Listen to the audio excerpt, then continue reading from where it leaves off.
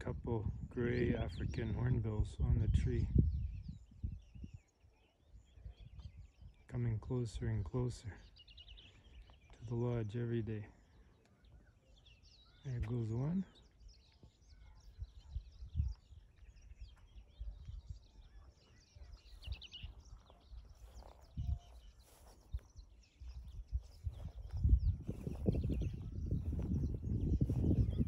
And there goes, oh, close, not too far. And there goes the other one.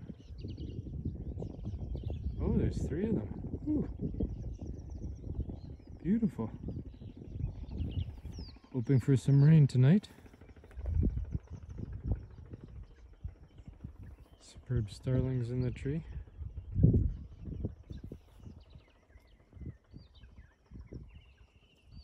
And the lodge over there.